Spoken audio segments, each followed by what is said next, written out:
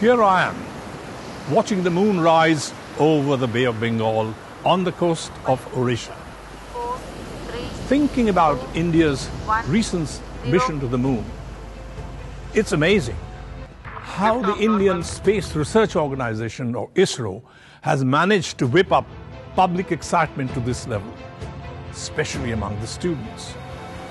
Recently, two other remarkable discoveries were made in the United States of America with international collaboration on a huge scale.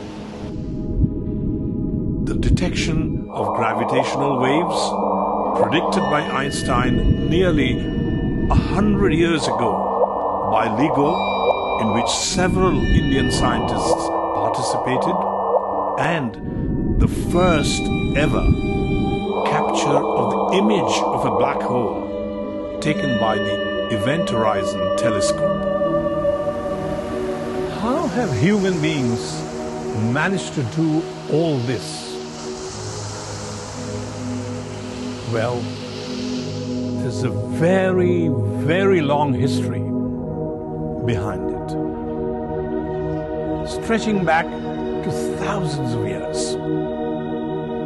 Ancient man was the first animal who could stand on his own legs and walk upright.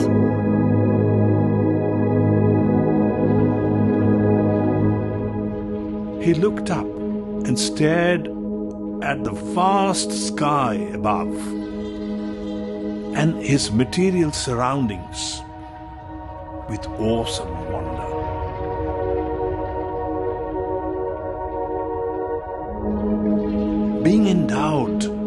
with a wonderful intelligence, he became conscious not only of the volume but the value of existence.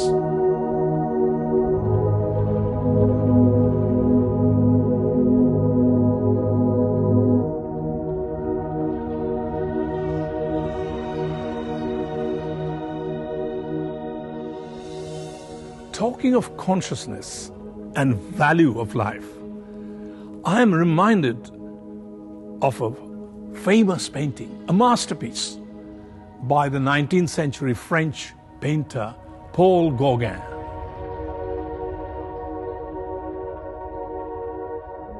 A study of the Tahitian people titled Where Do We Come From? What are we doing? Where are we going?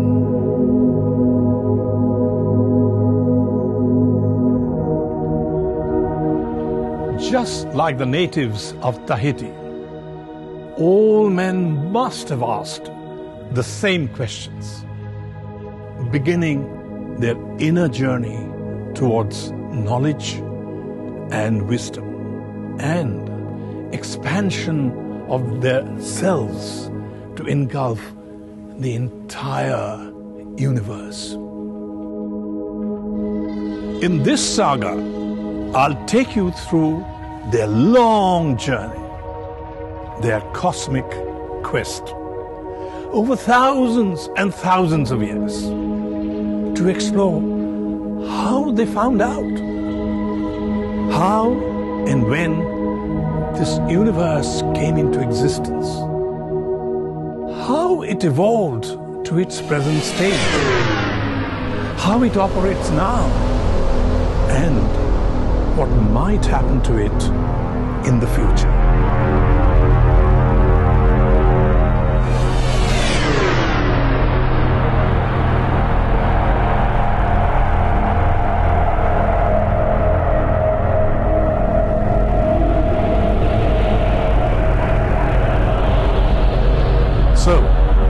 Let us embark on an amazing voyage.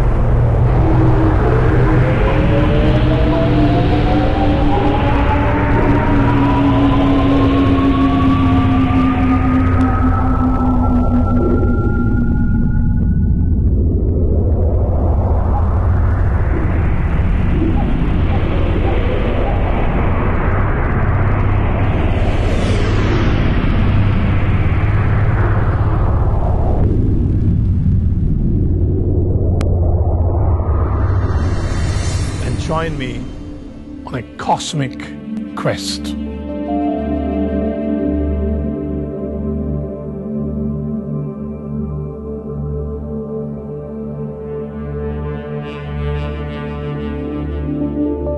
Leaving our home planet behind to discover all the wonders in the universe.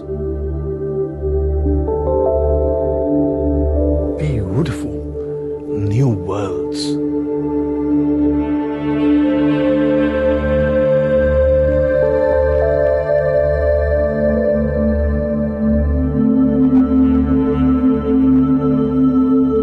Encounter humongous horrors and dark forces to get a feeling for where we belong.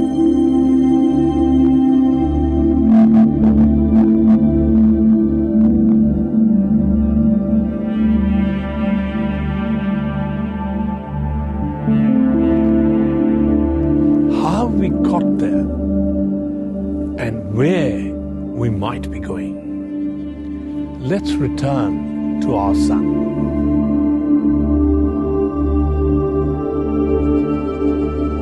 Our sun is a medium sized star among a hundred billion stars that make up the Milky Way galaxy, which stretches across 150 to 200,000 light years.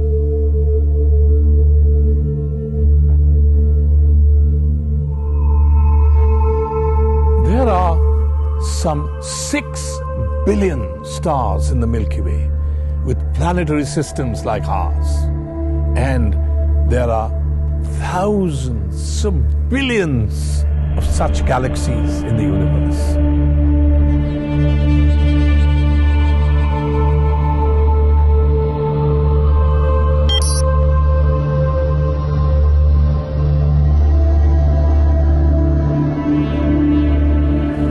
Is how big the universe is. It is gigantic. And it is getting bigger and bigger. So, if you extrapolate backwards in time,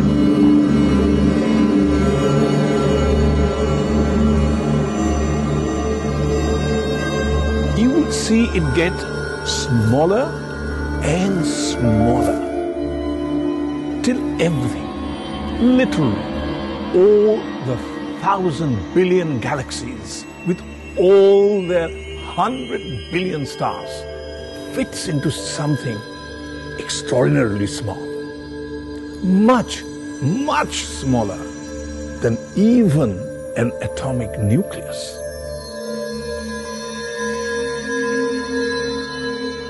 With infinite density and temperature. A condition in which the known laws of physics break down.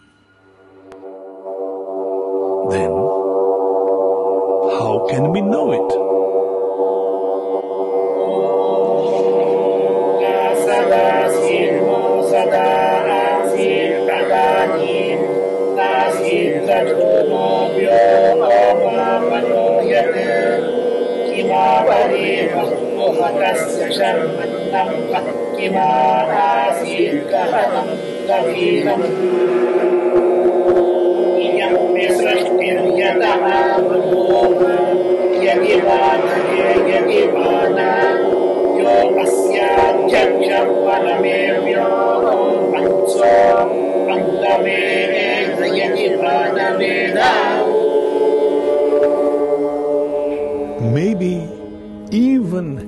he does not know.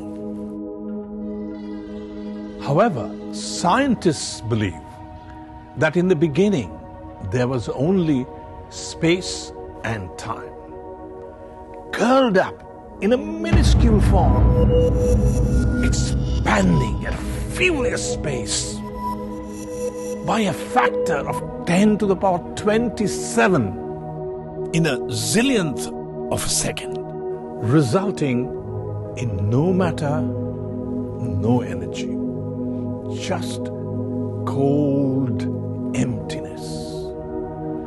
The very first epoch of the universe, the inflationary phase. Then something happened. That inflationary phase came to an end, converting the energy stored in space into an opaque, hot inferno of electrically charged primordial matter interacting with radiation and expanding the Big Bang. As the universe expanded, it cooled. The cooling continued. Nuclei formed, and eventually it was cool enough for neutral atoms to form. Some 380,000 years later.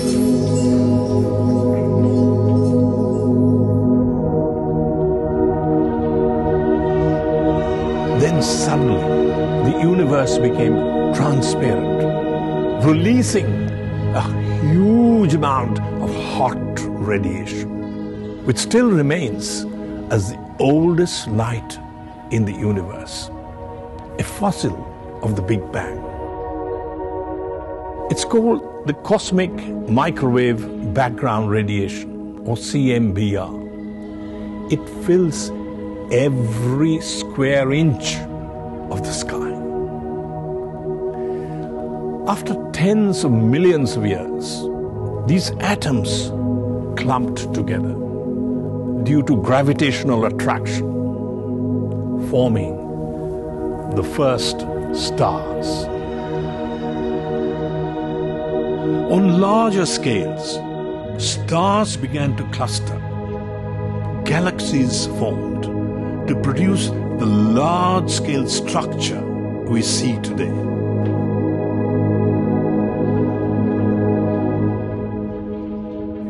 Occasionally, extraordinarily bright supernova explosions occurred, outshining entire galaxies, and then faded away over weeks or months,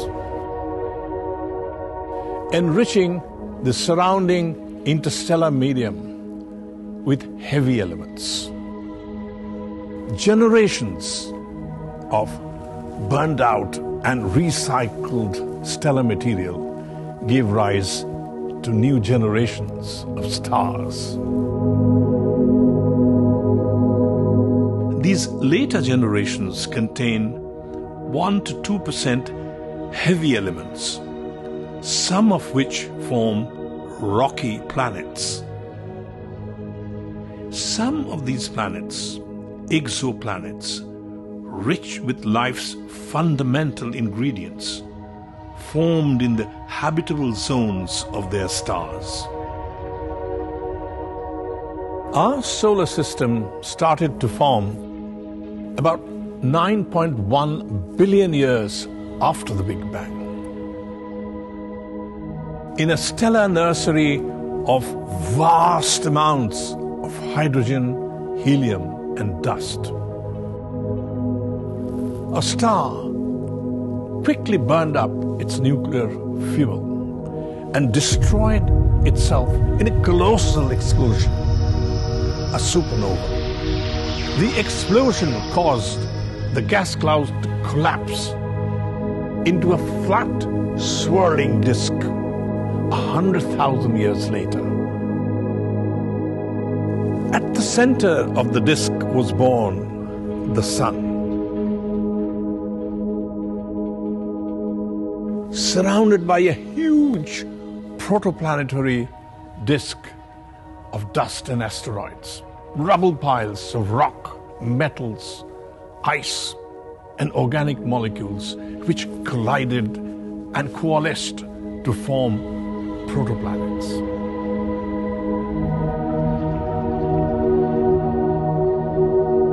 One such newborn protoplanet, Gaia, was a boiling ball of a rapidly spinning molten rock at a temperature of about a thousand degrees Celsius. A toxic hellhole with no air, only carbon dioxide, nitrogen, and water vapor. Then another new protoplanet, Theia, the size of Mars, came along with tremendous speed and collided head on with Gaia, forming the Earth and throwing out a ring of debris which formed the Moon, only 14,000 miles from the Earth, and exerting a tremendous tidal effect on the rapidly spinning Earth.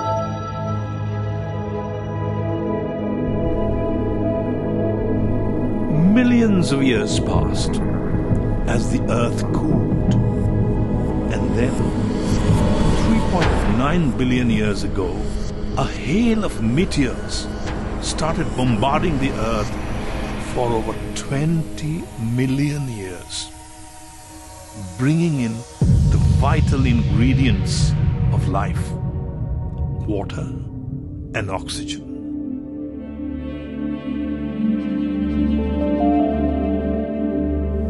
The Earth had cooled sufficiently by then to form a thin crust on the surface of the molten rock and started spinning less rapidly as the moon receded, setting the stage for the formation of the continents.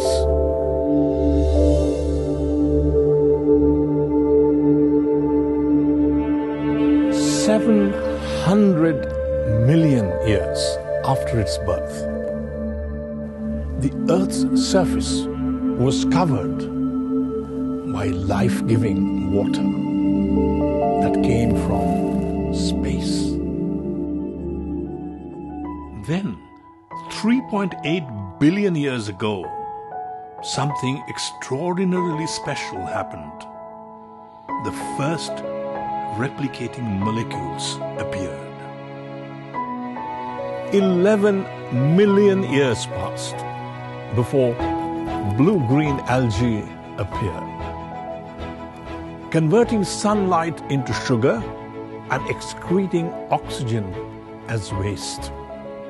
Until then, there was no oxygen in the Earth's atmosphere. It took two more million years for significant amounts of oxygen to build up in the atmosphere.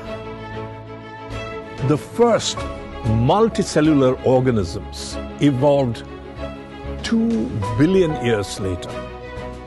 Their evolution from simpler unicellular microbes was a pivotal point in the history of biology on Earth and has drastically reshaped the ecology of the planet.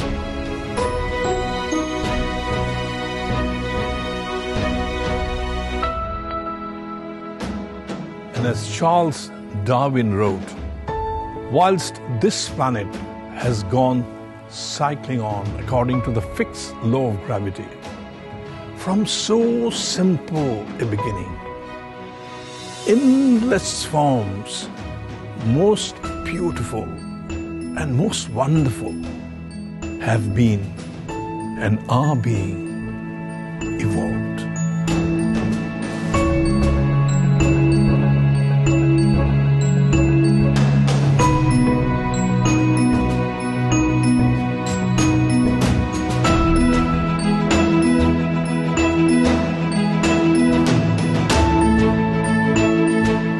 Modern humans appeared only 200,000 years ago.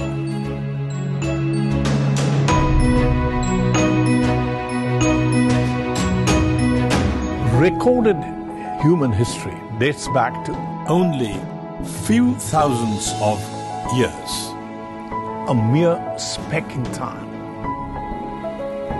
In the 13.7 billion years history of the universe, until then, the universe was a vast theater of the inert, dumb, and desolate, evolving by blind destiny.